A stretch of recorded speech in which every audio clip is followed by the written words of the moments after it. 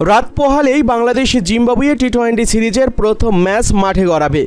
জিম্বাবুয়ের সাথে বাংলাদেশ ক্রিকেটের পরিচয় অনেক দিনের। হাঁটি হাঁটি পা পা করে বাংলাদেশ যখন আন্তর্জাতিক ক্রিকেটে চলতে শুরু করেছিল, তখন থেকেই জিম্বাবুয়ের দলকে পাশে পেয়েছিল তারা।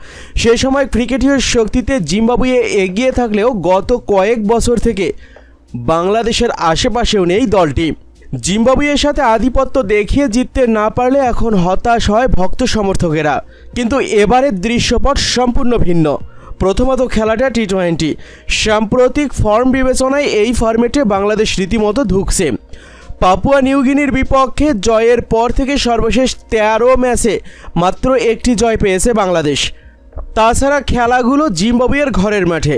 স্বাভাবিকভাবেই তাই স্বাগতিকদের হোম অ্যাডভান্টেজ থাকবে। আবার জিম্বাবুয়ের মাঠে বাংলাদেশ একেবারেই একতরফা ম্যাচও জিততে পারেনি। এখনও পর্যন্ত পাঁচটি টি টোয়েন্টি খেলে বাংলাদেশে জিতেছে তিনবার, অন্যদিকে দুইবার জিতেছে জিম্বাবুয়ে। তবে সবচেয়ে বড় কথা, বাংলাদেশ এবার জিম্বাবুয়ে সফরে গিয়েছে সম্পূর্ণ নতুনভাবে। সিনিয়রদের মাঝে তামিম ইকবাল এখন টি টোয়েন্টিতে অতীত হয়ে গিয়েছেন। সাকিব আল হাসানও ব্যক্তিগত কারণে ছুটিতে আছেন। অন্যদিকে এই ফরম্যাটের নিয়মিত অধিনায়ক মাহমুদুল্লাহ রিয়াদ এবং মুশফিকুর রহিমকে একরকম বিশ্রাম দিয়েই দল সাজিয়েছে নির্বাচকরা। আসন্ন এই সিরিজে কাজী নুরুল হাসান সোহান বাংলাদেশের টি টোয়েন্টি অধিনায়ক। প্রথমবারের মতো লাল সবুজের প্রতিনিধি হয়ে টস করতে মাঠে নামবেন তিনি। আর তার নেতৃত্বে এক ঝাঁক তরুণকে পাঠানো হয়েছে এই সফরে।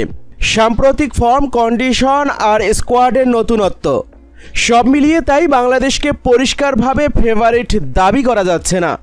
সহজ ভাষায় বললে, জিম্বাবুয়ে ক্রিকেট দলকে সহজ প্রতিপক্ষ ভাবা হলেও আদতে বাংলাদেশের জন্য অপেক্ষা করছে কঠিন চ্যালেঞ্জ। আর এই চ্যালেঞ্জ উতরানোর গুরু দায়িত্ব কাঁধে নিয়েছেন সাহসী সোহান।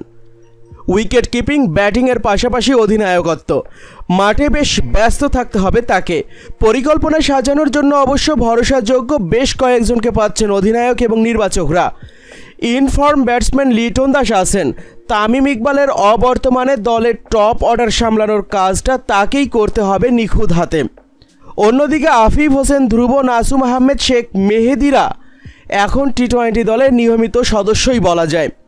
তাদের উপরও থাকবে পারফর্ম করার চাপ। অনেক দিনের চেনা জানা খেলোয়াড় থাকা সত্ত্বেও বাংলাদেশের প্রেক্ষাপটে দলটা তরুণেই বটে। টানা ব্যর্থতার কারণে যে পরিবর্তনের সুর বেজেছিল ক্রিকেট অঙ্গনে, তারই একটা প্রতিফলন এই স্কোয়াড পঞ্চপাণ্ডবদের কেউই নেই। এমন দৃশ্য সচরাচর বাংলাদেশ দলে দেখা যায় না। এবার তাই দেখা গেল সাথে নতুন একটা দৃশ্য দেখার প্রতীক্ষায় আছে ভক্তরা। সেটি টি টোয়েন্টির ব্র্যান্ড ক্রিকেট। পরিচিত ভাষায় বললে সাহসী আর আত্মবিশ্বাসী ক্রিকেট। শুধু ভক্তদের কথা কেন বলতে হয়? টিম ম্যানেজমেন্টের সবাই চায় একই দৃশ্যের মঞ্চায়ন। তাই তো খালেদ মাহমুদ সুজনের কণ্ঠে শোনা গিয়েছিল ভয়হীন ক্রিকেট খেলার উপদেশ। স্কোয়াডে বড়সড় পরিবর্তন মানসিকতায় পরিবর্তনের ছাপ। আশা করা যায় নতুন করেই টি টোয়েন্টি ক্রিকেট খেলবে সোহানের দল।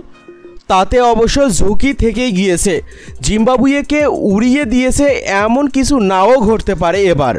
প্রায় নিশ্চিত করেই বলা যায় কোনো রকমের অঘটন ঘটলে এই পরিবর্তনকেই কাঠগড়ায় তুলবে মিডিয়া এবং ক্রিকেট ভক্তরা। কিন্তু আসলে তেমনটি করা মোটেই সমীচীন নয়।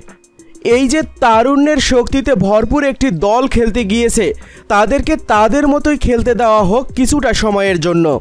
জয় পরাজয়ের হিসাব অনেক করা হয়েছে। এবার সেসব পাশে সরিয়ে রাখা যাক। সাহসী ক্রিকেটের কথা যেভাবে মুখে বলেছেন নুরুল হাসান সোহান তেমনটা যদি মাঠেও দেখাতে পারেন তিনি, তাহলে সেটি নিঃসন্দেহে টি টোয়েন্টি ফরম্যাটে বাংলাদেশ ক্রিকেটের নবজাগরণের সৃষ্টি করবে। তাই ব্র্যান্ড ক্রিকেট খেলতে পারলে দীর্ঘমেয়াদে এই দলটার উপরে আস্থা করা উচিত। শীঘ্রই ফলাফল না আসলেও হয়তো একটা সময় আর রাসেল পোলার্ডদের মতো হার্ড হিটার না থাকার আক্ষেপের কথা শোনা যাবে না। নিজের সামর্থ্য কাজে লাগিয়েই ক্রিকেটের সংক্ষিপ্ততম সংস্করণে পরাশক্তি হিসাবে আবির্ভূত হবে লাল সবুজের প্রতিনিধিরা।